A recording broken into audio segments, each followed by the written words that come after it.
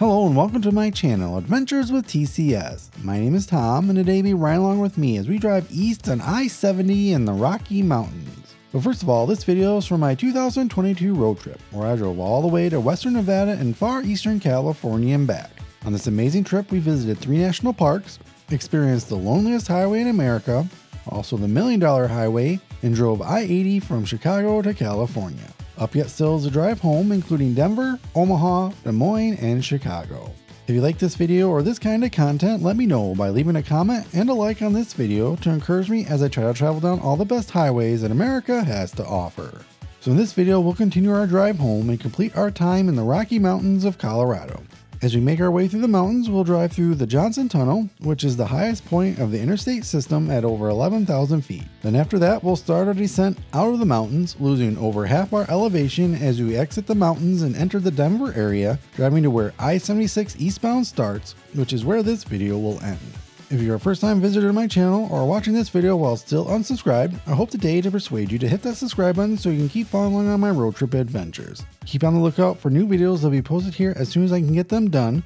And in the meantime, if you missed any of the ones before this one, you can always catch up by clicking the playlist link in the description. While checking out the video description, you'll see a ton of other helpful information, like what's upcoming on this trip, my social links, and ways you can help make more videos like these possible by supporting more trips to amazing places just like this one. Of course, like with any of your favorite YouTube creators, the simplest and easiest way to support us is to like this video and maybe sharing it with a friend. It really helps us out and allows more people to enjoy our content. Now that you're fully informed or reminded about all the stuff you need to know, I'm going to keep driving east on I-70 for one final time on this trip in the beautiful Rocky Mountains in colorful Colorado.